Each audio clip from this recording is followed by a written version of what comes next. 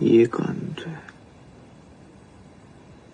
네가 나를 좋아한다는 게 이해가 안 돼.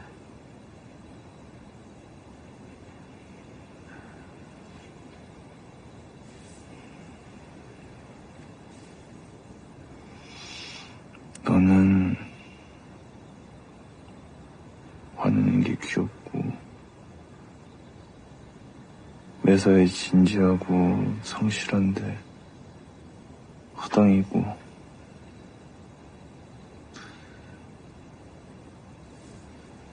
웃을 때 눈코리가 예쁘고. 다정하고.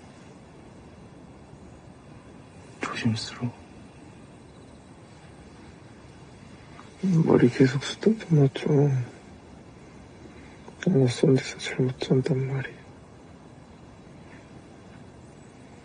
알았어.